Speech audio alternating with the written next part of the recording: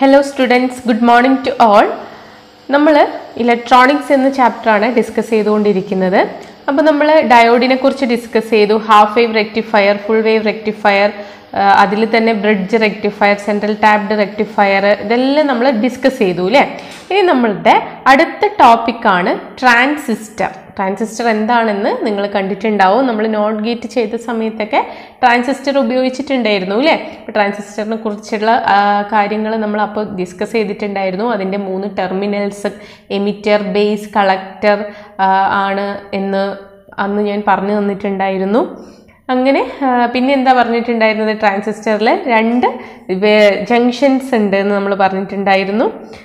രണ്ട് P N junctions കൂടിച്ചേർന്നതാണ് ഒരു transistor എന്ന് നമ്മൾ പറഞ്ഞിട്ടുണ്ടായിരുന്നു അല്ലേ? അപ്പോൾ നമുക്ക് ഈ പോയിന്റ്സ് ഒക്കെ ഒന്ന് വായിച്ചു നോക്കാം. A transistor is an electronic device that contains two P N junction ഒരു ട്രാൻസിസ്റ്റർ എന്ന് പറയുന്നത് ഒരു ഇലക്ട്രോണിക് ഡിവൈസ് ആണ്. അതിൽ രണ്ട് പി എൻ ജംഗ്ഷൻ അടങ്ങിയിട്ടുണ്ട്. പി എൻ ജംഗ്ഷനെ കുറിച്ച് നമ്മൾ ഓൾറെഡി ഡിസ്കസ് ചെയ്തതാണ് മുന്നത്തെ വീഡിയോസിൽ അതുകൊണ്ട് ഞാനത് ഓവറായിട്ട് എക്സ്പ്ലെയിൻ ചെയ്യുന്നില്ല. A transistor have three terminals ഒരു ട്രാൻസിസ്റ്ററിന് മൂന്ന് ടെർമിനൽസ് ഉണ്ട്. അവ എന്തൊക്കെയായിരുന്നു? എമിറ്റർ ബേസ് കളക്ടർ എന്നിങ്ങനെ മൂന്ന് ടെർമിനൽസ് ഉണ്ട് ട്രാൻസിസ്റ്ററിന് transistors are used in a wide variety of electronic circuits like amplifiers and oscillators ഈ ട്രാൻസിസ്റ്റേഴ്സ് ഒരുപാട് വെറൈറ്റി ഇലക്ട്രോണിക് സർക്യൂട്ട്സിൽ ഉപയോഗിക്കുന്നുണ്ട്. ഉദാഹരണമായിട്ട് ആംപ്ലിഫയേഴ്സിൽ ഓസിലേറ്റേഴ്സിൽ എന്നിങ്ങനെയുള്ള വെറൈറ്റി ഓഫ് ഇലക്ട്രോണിക് സർക്യൂട്ട്സിൽ നമ്മൾ ട്രാൻസിസ്റ്റർ യൂസ് ചെയ്യുന്നുണ്ട്. A transistor have three regions called emitter base and collector നമ്മൾ നേരത്തെ പറഞ്ഞു കഴിഞ്ഞു ഒരു ട്രാൻസിസ്റ്ററിന് മൂന്ന് ടെർമിനൽസ് അല്ലെങ്കിൽ മൂന്ന് കാലുകളാണ് ഉള്ളത്. അവിടെ ഒന്നാമത്തെ ഒന്നാമത്തെ ടെർമിനലിന്റെ പേര് എമിറ്റർ രണ്ടാമത്തെ ടെർമിനലിന്റെ പേര് base and third one is collector അത് ഇമ്പോർട്ടന്റ് ടേംസ് ആണ് നിങ്ങൾ ഓർത്ത് വെക്കണം. Between these regions there are two P N junction ഈ മൂന്ന് റീജിയന്റെയും ഇടയിൽ എമിറ്ററിന്റെയും ബേസിന്റെ ഇടയിൽ ഒരു ജംഗ്ഷൻ ഉണ്ട്. ബേസിന്റെയും കളക്ടറിന്റെയും ഇടയിൽ ഒരു ജംഗ്ഷൻ ഉണ്ട്. അതായത് ഈ മൂന്ന് ടെർമിനലിന്റെ ഇടയിലും രണ്ട് പി എൻ ജംഗ്ഷൻസ് ഉണ്ട് എന്നാണ് പറയുന്നത്. എമിറ്ററിന്റെയും ബേസിന്റെയും ഇടയിലുള്ള ജംഗ്ഷനെ എമിറ്റർ ബേസ് ജംഗ്ഷൻ എന്ന് പറയുന്നു. ബേസിന്റെയും കളക്ടറിന്റെയും ഇടയിലുള്ള ജംഗ്ഷനെ ബേസ് കളക്ടർ ജംഗ്ഷൻ എന്ന് പറയുന്നു. The emitter base junction and base collector junction. Collector is the largest of the three regions. Than emitter than base. Base is very thin. ഈ എമിറ്റർ ബേസ് കളക്ടർ എന്നിങ്ങനെ മൂന്ന് terminals ഉണ്ട് പറഞ്ഞല്ലോ.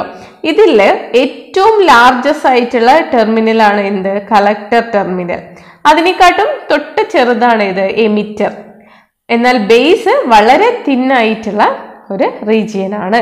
അതായത് collector is larger than emitter and uh, base base is thinner. Emitter is heavily doped. The collector is moderately doped and base is slightly doping എന്താണെന്ന് നമ്മൾ മുന്നത്തെ വീഡിയോയിൽ പറഞ്ഞിട്ടുണ്ടായിരുന്നു. ഇംപ്യൂരിറ്റി ആഡ് ചെയ്യുന്നതിനെയാണ് നമ്മൾ എന്ത് പറയുന്നത്? ഡോപ്പിംഗ് എന്ന് പറയുന്നത് അല്ലേ ഇവിടെ എമിറ്റർ ആണ് എന്ത്? ഹൈലി ഡോപ്ഡ് ആയിട്ടുള്ളത് എമിറ്റർ ആണ്.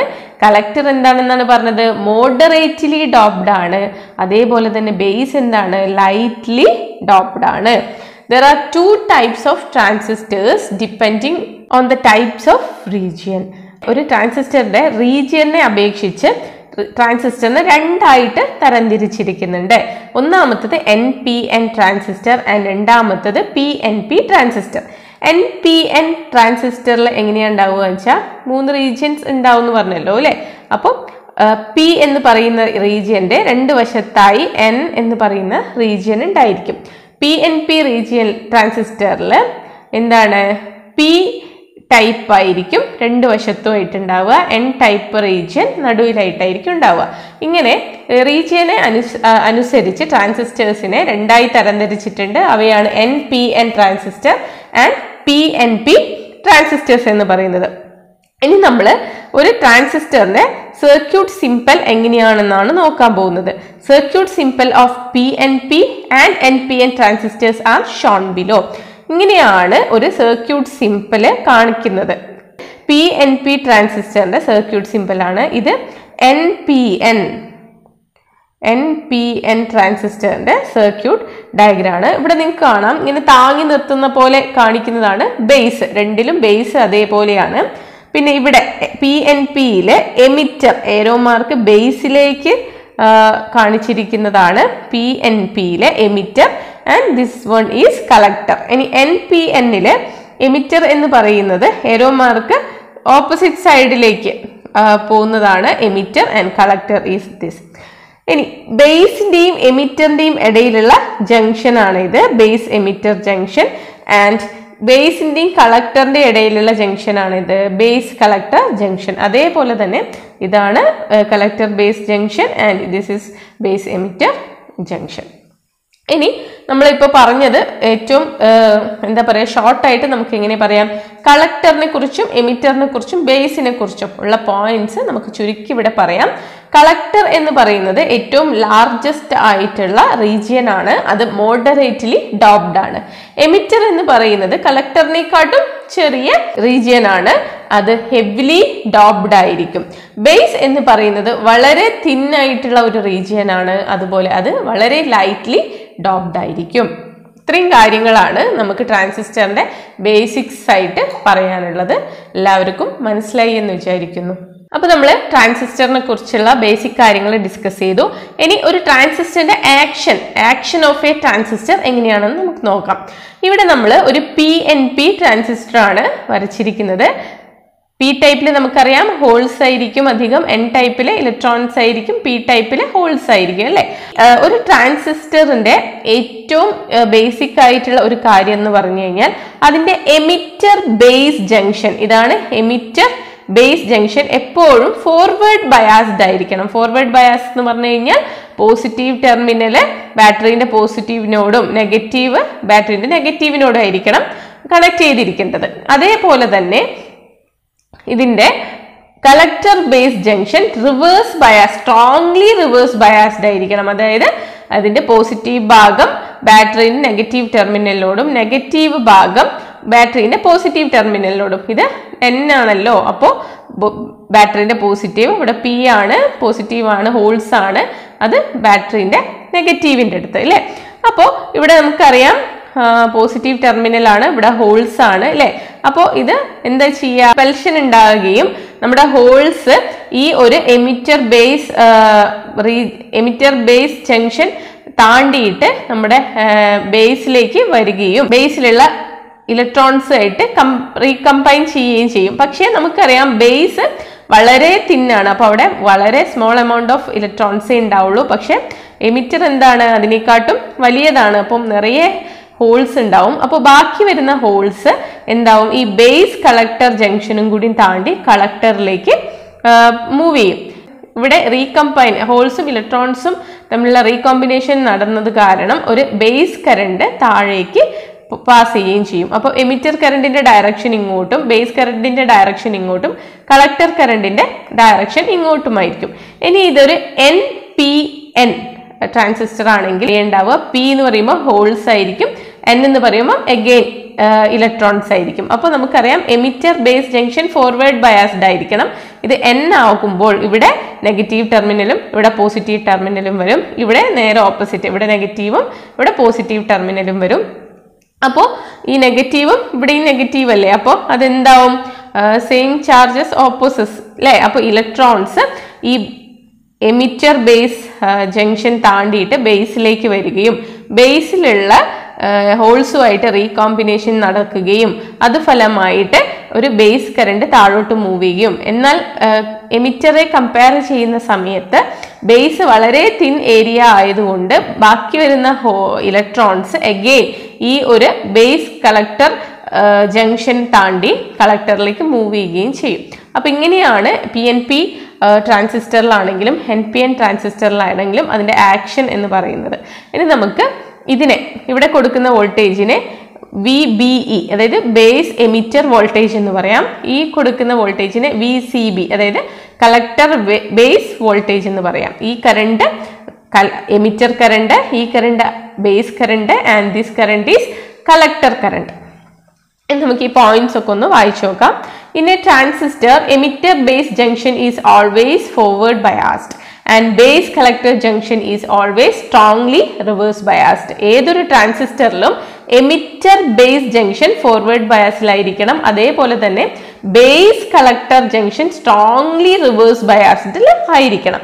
In such situations current flows from emitter to base ഇങ്ങനത്തെ സിറ്റുവേഷനിൽ കറണ്ട് എമിറ്ററിൽ നിന്നും ബേസിലേക്കും ബേസിൽ നിന്നും കളക്ടറിലേക്കും ഫ്ലോ ചെയ്തുകൊണ്ടേയിരിക്കും. On closing emitter base junction holes recombines with the electrons in the base but base is very thin only a few electrons undergo recombination and this forms a base current so most of the current flows to the collector thus by controlling base current output current from the transistor can be controlled അതുകൊണ്ട് ഈ ഒരു base കറണ്ടിനെ control ചെയ്യുന്നത് കൊണ്ട് തന്നെ നമുക്ക് എന്താണ് ട്രാൻസിസ്റ്ററിലുള്ള കറണ്ടിനെ അല്ലെങ്കിൽ output കറണ്ടിനെ നമുക്ക് എന്ത് ചെയ്യാം? കൺട്രോൾ ചെയ്യാൻ പറ്റും. ഇവിടെ ഐ ഇ ഐ ഇ എന്ന് കാണിച്ചിരിക്കുന്നത് എമിറ്റർ കറണ്ട് ആണ്. ഇവിടെ ഐ ബി എന്ന് കാണിച്ചിരിക്കുന്നത് ബേസ് കറണ്ട് ആണ്. അതേപോലെ ഇവിടെ ഐ സി എന്ന് കാണിച്ചിരിക്കുന്നത് കളക്ടർ കറണ്ട് ആണ്. ഇങ്ങനെ നമുക്കൊരു ബേസിക് ട്രാൻസിസ്റ്റർ ഇക്വേഷൻ എഴുതാം. എങ്ങനെയാണ്? I is equal to I B plus I C ഇത് ഇമ്പോർട്ടന്റ് ആണ്. Emitter current is equal to base current plus collector current. That means emitter current is the sum of base current and collector current. ഈ base കറണ്ടിന്റെയും collector കറണ്ടിന്റെയും ആണ് എന്ത്?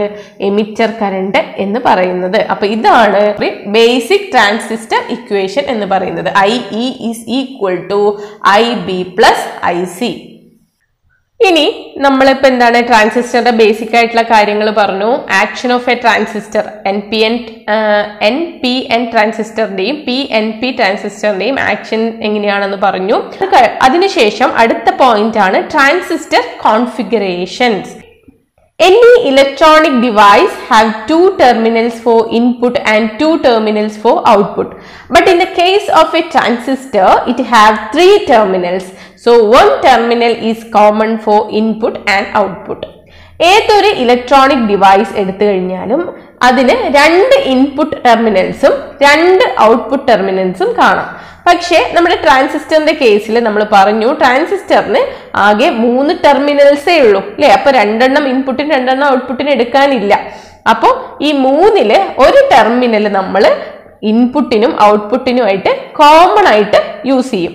അങ്ങനെ common ആയിട്ട് use ചെയ്യുന്ന ടെർമിനലിനെ അപേക്ഷിച്ചിട്ട് നമ്മൾ ട്രാൻസിസ്റ്റർ കോൺഫിഗറേഷൻസിനെ മൂന്നായിട്ട് തരംതിരിച്ചിട്ടുണ്ട്. അതിൽ ഒന്നാമത്തതാണ് common base configuration രണ്ടാമത്തതാണ് common emitter configuration and third one is common collector configuration based on that common terminal which is used for both input and output there are three types of transistor configuration the first one is common base configuration the second one is common emitter configuration and the third one is common collector configuration ഈ common base കോൺഫിഗറേഷനിൽ base terminal base terminal ആയിരിക്കും ഇൻപുട്ടിലും ഔട്ട്പുട്ടിലും നമ്മൾ common ആയിട്ട് use ചെയ്യുന്നത് അതേപോലെ തന്നെ common emitter കോൺഫിഗറേഷനിൽ എമിറ്റർ ടെർമിനൽ ആയിരിക്കും നമ്മൾ ഇൻപുട്ടിനും ഔട്ട്പുട്ടിനും യൂസ് ചെയ്യുന്നത്. അതേപോലെ കോമൺ കളക്ടർ കോൺഫിഗറേഷനിൽ നമ്മൾ കളക്ടർ ടെർമിനലായിരിക്കും ഇൻപുട്ടിലും ഔട്ട്പുട്ടിലും കോമൺ ആയിട്ട് യൂസ് ചെയ്യുന്നത്. ഇനി ഒരു മൂന്ന് ടേംസ് എന്താന്ന് നമുക്ക് പഠിക്കാനുണ്ട്. Characteristics characteristics of a device എന്താണ്? Characteristics of a device is the graph plotted between current through the device and voltage across it ഒരു ഡിവൈസിൽ കൂടെ പാസ് ചെയ്യുന്ന കറണ്ടും അതിന് ക്രോസ് ആയിട്ടുള്ള വോൾട്ടേജും തമ്മിൽ വരയ്ക്കുന്ന ഗ്രാഫിനെയാണ് ആ ഡിവൈസിന്റെ ക്യാരക്ടറിസ്റ്റിക്സ് എന്ന് പറയുന്നത്. ഇനി ഇൻപുട്ട് ക്യാരക്ടറിസ്റ്റിക്സ് എന്ന് പറഞ്ഞു കഴിഞ്ഞാൽ graph between input current and input voltage ആ ഡിവൈസിന്റെ ഇൻപുട്ട് കറണ്ടും ഇൻപുട്ട് വോൾട്ടേജും തമ്മിലുള്ള ഗ്രാഫിനെയാണ് നമ്മൾ എന്ത് പറയുന്നത്? ആ ഡിവൈസിന്റെ ഇൻപുട്ട് ക്യാരക്ടറിസ്റ്റിക്സ് എന്ന് പറയുന്നത്. ഇനി ഔട്ട്പുട്ട് ക്യാരക്ടറിസ്റ്റിക്സ് എന്താണ്? The graph between output current and output voltage ഒരു ഡിവൈസിന്റെ ഔട്ട്പുട്ട് കറണ്ടും ഔട്ട്പുട്ട് വോൾട്ടേജും തമ്മിലുള്ള ഗ്രാഫിനെയാണ് നമ്മൾ എന്ത് പറയുന്നത്? Output characteristics of that device എന്ന് പറയുന്നത്. അപ്പൊ ഇത്രയും പോയിന്റ്സ് ആണ് basics of ട്രാൻസിസ്റ്ററിലും action of transistor and transistor configuration എന്നീ മൂന്ന് പോയിന്റ്സിലും നമുക്ക് ഡിസ്കസ് ചെയ്യാനുള്ളത്. എല്ലാവർക്കും മനസ്സിലായി എന്ന് വിചാരിക്കുന്നു. താങ്ക്